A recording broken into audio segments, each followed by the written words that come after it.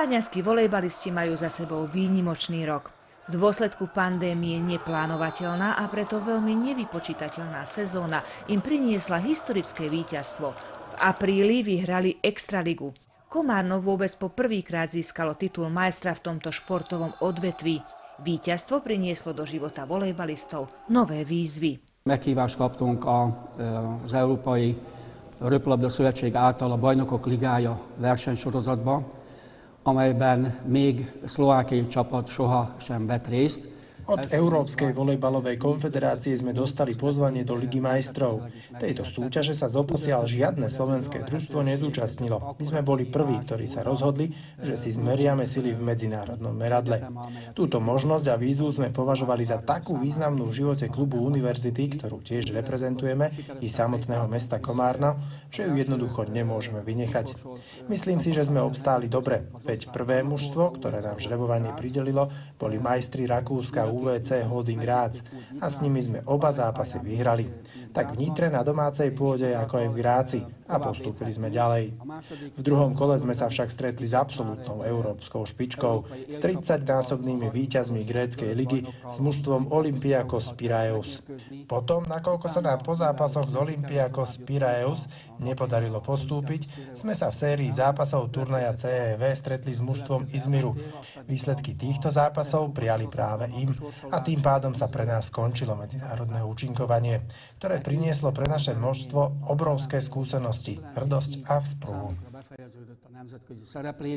amely óriási tapasztalatot, büszkeséget és, és tartást adott a klubnak, a csapatunknak.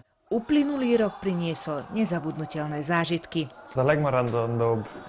Navždy si v pamäti zachovám chvíle, keď sme sa stali majstrami a samozrejme aj to, keď sme sa v tejto sezóne 2021-2022 zúčastnili Ligy majstrov a neskôr, keď sme už vypadli zápasov CEF Cupu. Víťazstvo, víťazstvo v lige, kde sme, kde sme vyhrali titul, kde sme vyhrali s Mijavou a samozrejme príchod do Komárna, pretože ja som e, nezačal sezónu od začiatku vlastne s Komárnom, ale po vzájomnej dohode sme sa vlastne dohodli, že, že prídem, takže vlastne som bol od e, februára v Komárne.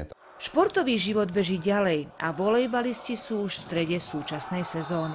Számos nemzetközi tornán vettünk részt a szeptemberi hónap, hónapban, nem csak az Exoligás csapat, hanem az utánpótlás čapataink is. V septembri sme sa zúčastnili mnohých medzinárodných turnajov.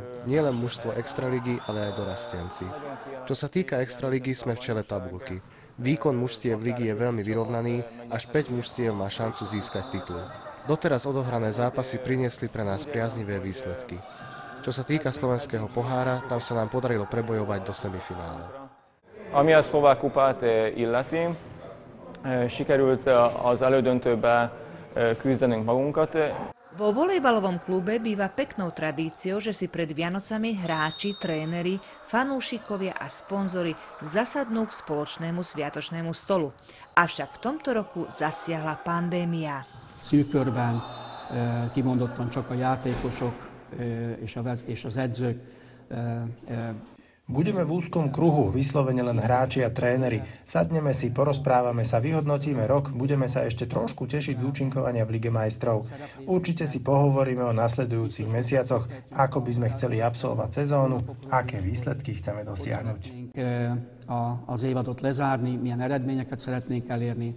V čase Vianočných sviatkov sa zápasy nekonajú. Je to čas kondičnej prípravy a trochu aj oddychový. Szeretteim körében fogom eltölteni, ajándékokat természetesen. Sviatky strávim so svojimi blízkymi, darčeky som už samozrejme zabezpečil. Ale podstatné nie sú darčeky, skôr ide o to prežiť spolu tie príjemné vianočné chvíle. Meghitt pillanatát kell, kell megélni. A karácsonyt azt a Vianoce strávim s rodičmi v rodinnom kruhu.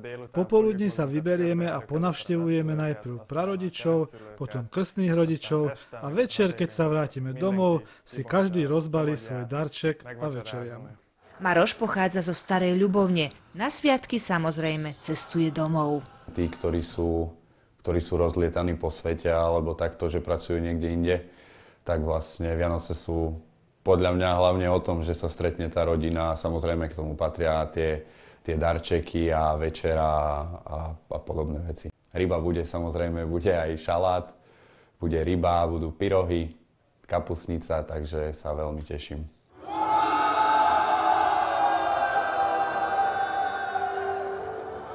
Engedjék meg nekem, hogy nagyon boldog karácsonyi ünnepeket kívánjak.